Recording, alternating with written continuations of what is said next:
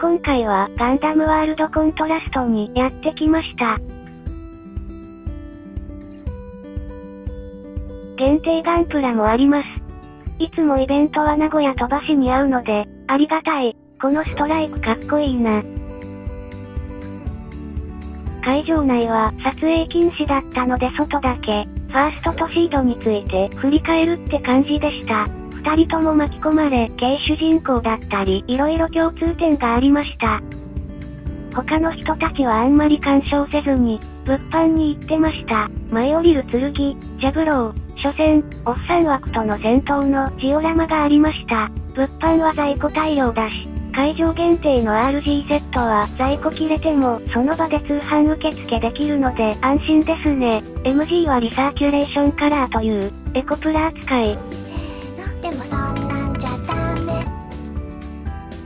特典付きの前売り券買ったので限定のハロプラゲット。前回の横浜ガンダムファクトリーでハロプラは初心者向きとありましたが、本当でしょうか？入場特典で来春稼働予定のアーセナルベースのカードももらいました。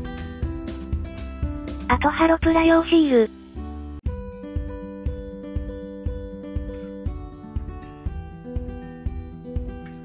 説明書は箱と一体。ランナー2枚、タッチゲート式。本当に簡単に組めました。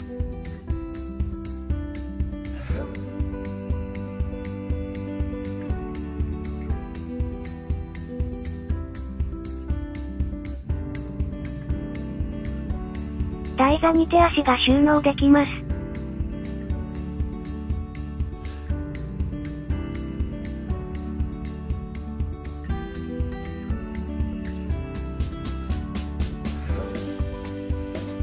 私、まん丸好きすごく好きなので、球体で飾っておきます。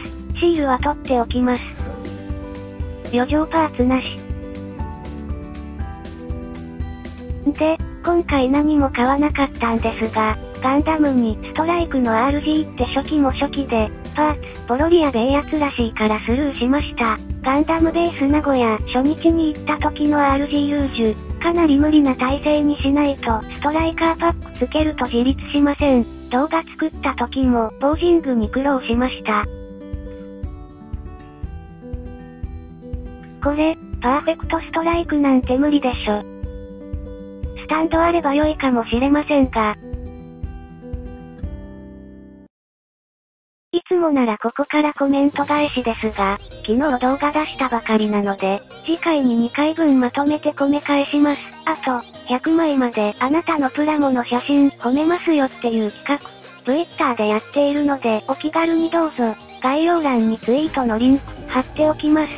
今年は登録者3桁達成できて本当に嬉しかったです。登録してくれている皆様、本当にありがとうございます。